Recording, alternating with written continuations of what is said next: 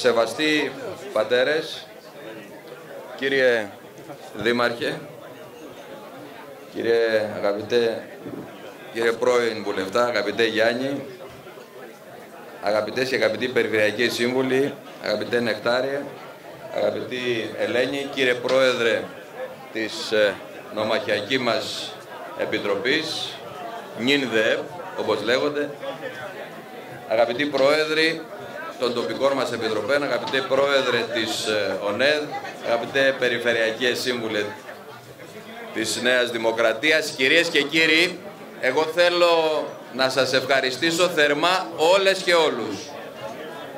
Στην αρχή,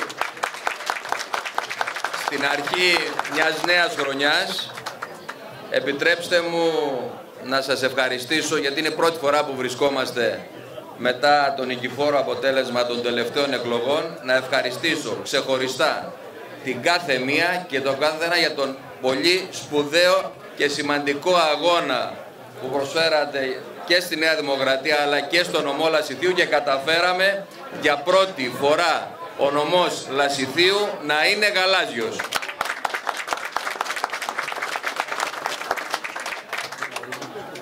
Ο νομός Λασιθίου λοιπόν ήταν και θα είναι γαλάζιος γιατί την τελευταία τετραετία η κυβέρνηση του Κυριάκου Μητσοτάκη κατάφερε αντιμετωπίζοντας μια σειρά από προκλήσεις και απειλές και στο εσωτερικό αλλά και σε παγκόσμιο επίπεδο κατάφερε και οδήγησε και οδηγεί τη χώρα σε ήρεμα νερά. Αυτή είναι η πραγματικότητα.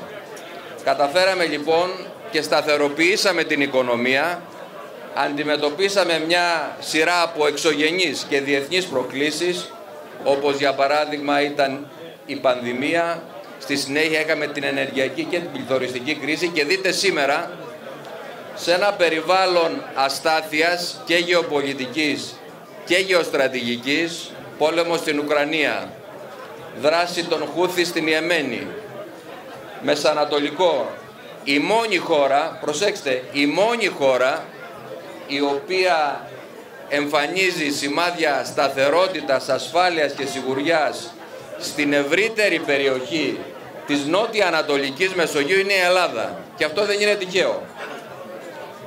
Και σίγουρα αυτό επιβραβεύεται και από τους συμμάχους μας και από τους εταίρους μας. Η πρόσφατη, για παράδειγμα, συμφωνία με τις Ηνωμένες Πολιτείες της Αμερικής για την απόκτηση έως 40 νέας τεχνολογίας F-35 νέα αεροσκάφη συν τη δωρεάν βοήθεια για εξοπλισμό όχι μόνο των ενόπλων μας δυνάμων αλλά και του λιμενικού επιβεβαιώνει ότι η Ελλάδα πλέον είναι πρωταγωνιστής σε διεθνές και παγκόσμιο επίπεδο.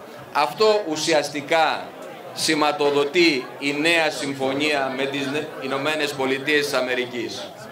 Άρα στόχος της Ελλάδος είναι και τη νέα περίοδο η εδραίωση της διεθνής θέσης της χώρας μας στο ευρύτερο περιβάλλον, σε ένα περιβάλλον όπως είπα αστάθειας και γεωπολιτικής και γεωστρατηγικής. Σίγουρα όμως η νέα χρονιά μας βρίσκει αντιμέτωπους με πολλές προσκλήσεις και προσκλήσεις και στο εσωτερικό επίπεδο. Στην πρόσφατη για παράδειγμα διεκδίκηση των ε, αγροτών μας χθες με ανακοίνωση του ιδίου του Πρωθυπουργού υπήρχε νέο πακέτο στήριξης του αγροτικού τομέα. Γιατί μπορέσαμε και στηρίξαμε και στηρίζουμε και τους αγρότες μας αλλά και όλες τις κοινωνικές ομάδες διότι η οικονομία προφανώς πηγαίνει καλά. Διαφορετικά δεν θα είχαμε την δυνατότητα μέσα σε ένα δύσκολο δημοσιονομικό περιβάλλον να στηρίζουμε και στους αγρότες μας, να στηρίζουμε και τις διάφορες κοινωνικές ομάδες εάν η οικονομία μας δεν πήγαινε καλά. Η οικονομία μας πηγαίνει καλά. Στα στενά λοιπόν όρια που μπορούμε και έχουμε τη δυνατότητα θα συνεχίζουμε να στηρίζουμε όλες τις κοινωνικές ομάδες και επιτρέψτε μου να πω ότι του, ειδικά τον αγροτικό τομέα την τελευταία τετραετία τον έχουμε στηρίξει ποικιλοτρόπως.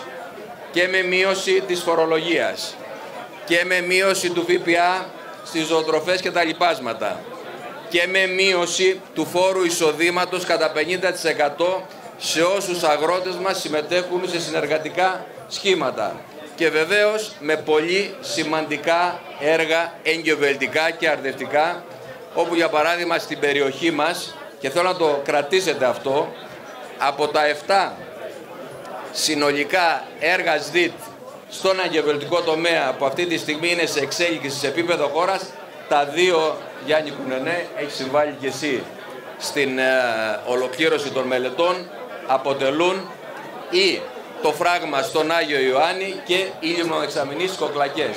Επαναλαμβάνω, από τα 7 έργα τα οποία είναι σε εξέλιξη αυτή τη στιγμή έργα ΣΔΙΤ σε ολόκληρη την χώρα, τα δύο είναι στο νομό Λασιθίου και πού ακριβώς βρισκόμαστε; Βρισκόμαστε στην κατάθεση των δεσμευτικών προσφορών στα πλαίσια του ανταγωνιστικού διαλόγου, επομένως με την ολοκλήρωση και των συνομιλιών με τις τράπεζες μέσα στο 2024 το μεγάλο έργο του φράγματος του Αγίου Ιωάννου θα είναι πλέον μία πραγματικότητα. Όπως επίσης σε δύο μήνες το αργότερο θα διαψεστούν και οι Κασάνδρες που μας έλεγαν ότι απεντάχτηκε το έργο, το συμπληρωματικό έργο του φράγματος των Παραμιανών. Θυμάστε τι μας λένε όλο αυτό το διάστημα; Ότι το έργο απεντάχθηκε από το Ταμείο Ανάκαμψη, άρα δεν θα υλοποιηθεί.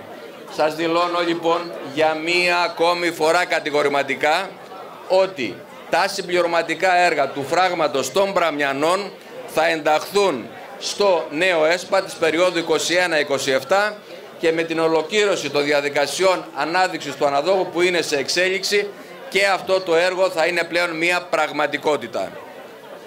Επίσης, η οικονομία όμως δεν πηγαίνει ε, καλά και στηρίζουμε τον αγροτικό τομέα πολλές και σημαντικές επενδύσεις σε όλα τα επίπεδα και στον τουριστικό τομέα και στον τομέα των νέων τεχνολογιών αυτή τη στιγμή υλοποιούνται στην πατρίδα μας διότι οι επενδυτές βρίσκουν ένα πρόσφορο, σταθερό, ασφαλές επενδυτικό περιβάλλον. Οι πολύ μεγάλες επενδύσεις και στον τόπο μας αλλά και στην χώρα σίγουρα δεν είναι ένα τυχαίο γεγονός.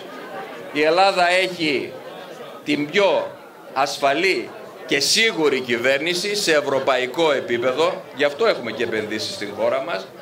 Και ταυτόχρονα βέβαια θωρακίζουμε την άμυνα και την ασφάλεια της πατρίδας μας έτσι ώστε η Ελλάδα πλέον να είναι ένα, μια ασφαλή χώρα σε ένα ευρύτερο περιβάλλον. Διότι προσέξτε κανένας επενδυτής δεν πρόκειται να έρθει στην πατρίδα μας εάν δεν γνωρίζει ότι πρώτον υπάρχει μια σταθερή κυβέρνηση η οποία διασφαλίζει ε, την σιγουριά υλοποίησης των επενδύσεων και βεβαίως κανείς δεν έρθει σε μια χώρα η οποία δεν έχει θωρακίσει την άμυνά της.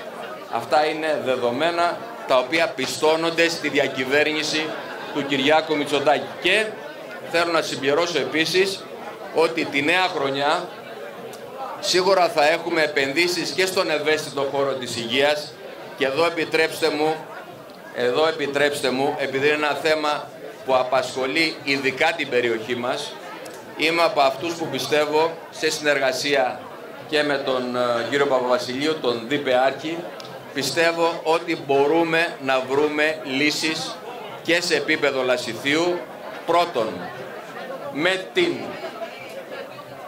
προκήρυξη θέσεων που εδώ θα μου επιτρέψετε να πω ότι σίγουρα γίνονται προκηρύξεις αλλά δεν καταλαμβάνονται οι θέσεις και αυτό είναι ένα θέμα που μας απασχολεί ως κυβέρνηση. Πρέπει να βρούμε τρόπους προσέλκυσης των ιατρών με νέα κίνητρα και αυτό είναι ένα θέμα που θα πρέπει να εκκινήσει και ο αρμόδιος υπουργός βεβαίως ο κ. Γεωργιάδης έχει δεσμευθεί για αυτό και βεβαίως θα πρέπει να υπάρξει καλύτερη συνεργασία σε επίπεδο νοσηλευτικών ιδρυμάτων του νομού. Είμαι από αυτούς που πιστεύουν στο διάλογο και μέσα από το διάλογο μπορούμε να βρούμε λύσεις και φυσικά με τις νέες διοικήσεις που θα έχουμε σε επίπεδο νοσηλευτικών ιδρυμάτων σε λίγους μήνες πιστεύω ότι η κατάσταση στο νομό Λασιτίου θα βελτιωθεί με πιο ασφαλείς και σίγουρους ε, τρόπους. Τώρα, σε λίγους μήνες θα έχουμε ευρωεκλογές. Μία νέα αναμέτρηση όπου φυσικά δεν κρίνεται η διακυβέρνηση της χώρας, όμως προσέξτε, αυτό που διακυδεύεται στις ευρωεκλογές είναι ότι πρέπει τα επίπεδα σιγουριάς, ασφάλειας και σταθερότητας και ο τρόπος που τελικά μας αντιμετωπίζουν οι εταίροι μας θα πρέπει να διατηρηθεί. Δηλαδή θα πρέπει να επιβεβαιωθεί η εμπιστοσύνη μας στη Νέα Δημοκρατία και τον Κυριάκο Μητσοτάκη. Διότι τι έχουμε απέναντί μας; Απέναντί μας έχουμε μία αντιπολίτευση η οποία δεν έχει σχέδιο, δεν έχει πρόγραμμα, από τη μια παλινοδία στην άλλη, άλλα λέει το πρωί, άλλα λέει το βράδυ. Για παράδειγμα στην επιστολική ψήφο που ήταν μια σημαντική τομή και μεταρρύθμιση να μπορούν δηλαδή οι εγγεγραμμένοι στους εκλογικούς καταλόγους να ψηφίζουν με επιστολική ψήφο ε, από, τις, ε, από το ε, εξωτερικό. Η θεσμοθέτηση δηλαδή και η καθιέρωση της επιστολικής ψήφου είναι ουσιαστικά μια μεταρρύθμιση που δυναμώνει την δημοκρατία και επιτρέπει σε συμπολίτες μας οι οποίες είτε έχουν κινητικά προβλήματα είτε για λόγους, για παράδειγμα φοιτητές δεν θέλουν να διακόψουν τις σπουδές τους ή για άλλους λόγους υγείας τους επιτρέπει λοιπόν η δυνατότητα της επιστολικής ψήφου να μπορούν να ασκήσουν το δικαίωμά τους. Εμείς τι είπαμε στην τροπολογία μας, ότι ισχύει στις ευρωεκλογές να μπορεί να ισχύσει και στις επόμενες εθνικές εκλογές. Και τι είδαμε, είδαμε τα κόμματα της αντιπολίτευσης να αλλάζουν ουσιαστικά την ψήφο τους επί της αρχής, τη δική τους ψήφο και τελικά να μην υπερψηφίζουν το συγκεκριμένο νομοσχέδιο. Θέλω λοιπόν να πω ότι μέσα σε ένα ευρύτερο περιβάλλον αστάθειας που υπάρχει και στα κόμματα της ε, αντιπολίτευσης η μόνη ουσιαστικά πολιτική δύναμη η οποία υλοποιεί το πρόγραμμά της, έχει σχέδιο, έχει πρόγραμμα και βέβαια το αποδεικνύουμε αυτό με μια σειρά από μεταρρυθμίσεις που έχουμε δρομολογήσει και τη νέα χρονιά.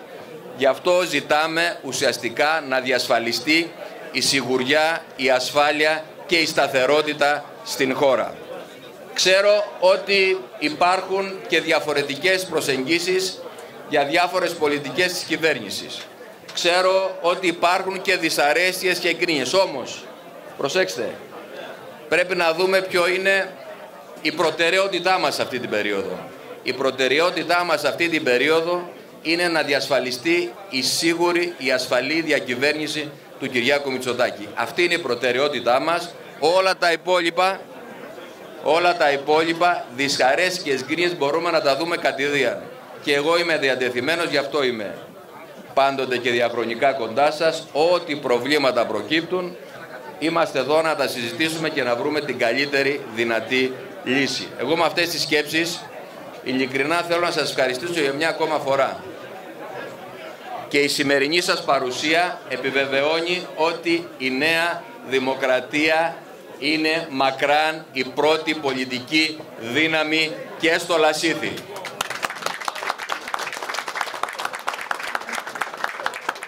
Και να ξέρετε ότι και το επόμενο χρονικό διάστημα σε συνεργασία και με τις νέες δημοτικές αρχές τις οποίες θέλω να τους ευχηθώ ολόψυχα καλή επιτυχία. Θα έχουν τη δική μου προσωπική πολιτική στήριξη όπως και διαχρονικά έχω αποδείξει στο Λασίθι ότι νοιάζομαι για τα προβλήματα, συνεργάζομαι με τους φορείς. Δεν είναι τυχαίο ότι διασφαλίσαμε πολλές χρηματοδοτήσεις, δεν είναι η ώρα βέβαια του απολογισμού, τον απολογισμό τον έχουμε κάνει, απλά πρέπει να επιταχύνουμε ρυθμούς και επειδή βλέπω επειδή βλέπω συμπολίτες μας που αυτή τη στιγμή είναι σε μια αγωνία το τι θα συμβεί με την παραλιακή ζώνη της Ιεράπετρας, θέλω να θυμίσω, θέλω να θυμίσω ότι με χρηματοδότηση του Υπουργείου Ναυτιλίας υλοποιήθηκε η μελέτη ανάπλασης της χερσαίας ζώνης και αυτό που έχουμε πει ισχύει, ότι δηλαδή εδώ θα πρέπει να βρεθεί μία μόνιμη λύση και βιώσιμη στο συγκεκριμένο ζήτημα, πράγμα που σημαίνει ότι πρέπει να εξασφαλιστεί η χρηματοδότηση για τη συνολική ανάπλαση της χερσαίας ζώνης. Επομένως, σε συνεργασία με τον Δήμο της Ιεράπετρας, σε συνεργασία με τους επιχειρηματίες της περιοχής, αυτό που ουσιαστικά είναι η στόχευσή μας για το επόμενο διάστημα είναι να βρεθεί οριστική βιώσιμη λύση, διότι προσέξτε το πρόβλημα είναι δεκαετιών στην Ιεράπετρα, αλλά και σε άλλες περιοχές του νομού, όπως για παράδειγμα στο Σύση και στον Άγιο Νικόλα. Όμως εδώ είμαστε μέσα από νόμιμες διαδικασίες, αφού έχουν ολοκληρωθεί και οι κατάλληλες μελέτες, ειδικά η Ιεράπετρα είναι ένα βήμα μπροστά, να λύσουμε οριστικά το ζήτημα. Με αυτές τις σκέψεις λοιπόν, εγώ θέλω να σας ευχαριστήσω. Εδώ είμαστε. Ο αγώνας είναι μπροστά μας για τις ερχόμενες ευρωεκλογές που είναι πολύ σημαντικές. Είναι πάρα πολύ σημαντικές διότι θα καθορίσουν το μέλλον της χώρας μας αλλά και συνολικά της Ευρώπης για τα επόμενα χρόνια. Η Ευρώπη χρειάζεται ευρωπαϊκές λύσεις.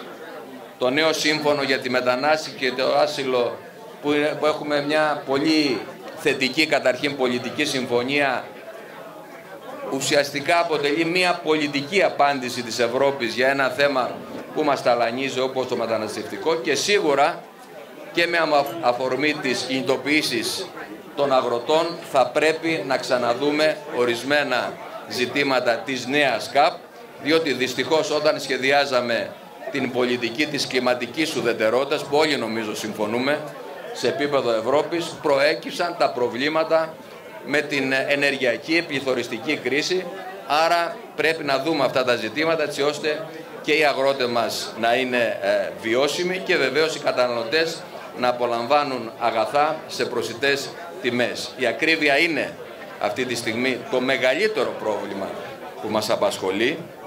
Η κυβέρνηση προσπαθεί και με συνεχείς ελέγχους και με προστήματα να αντιμετωπίσει το συγκεκριμένο πρόβλημα, να περιορίσει την εσχροκέδια, να περιορίσει την απληστία, όμως έχουμε πολλή δουλειά να κάνουμε ακόμα, πολύ πιο εντατικούς ελέγχους, επαύξηση των προστήμων, όμως χρειάζεται και άλλα βήματα προκειμένου να μπορέσουμε τελικά να περιορίσουμε το, το πολύ μεγάλο αυτό φαινόμενο που για μας αποτελεί πρώτη προτεραιότητα σε επίπεδο κυβερνήσεως.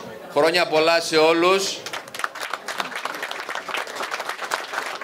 Καλό αγώνα στις επερχόμενες ευρωεκλογές και να είστε βέβαιοι ότι και με τη δική σας πάλι συμπαράσταση η Νέα Δημοκρατία και ο Κυριάκος ο Μητσοτάκης θα ανανεώσουν την εμπιστοσύνη τους διότι αυτή τη στιγμή η μόνη δύναμη που εγγυάται την ασφάλεια, τη σιγουριά και τη σταθερότητα και σε εθνικό αλλά και σε ευρωπαϊκό επίπεδο είναι η Νέα Δημοκρατία και ο Κυριάκος Μητσοτάκης. Να είστε καλά, καλή χρονιά.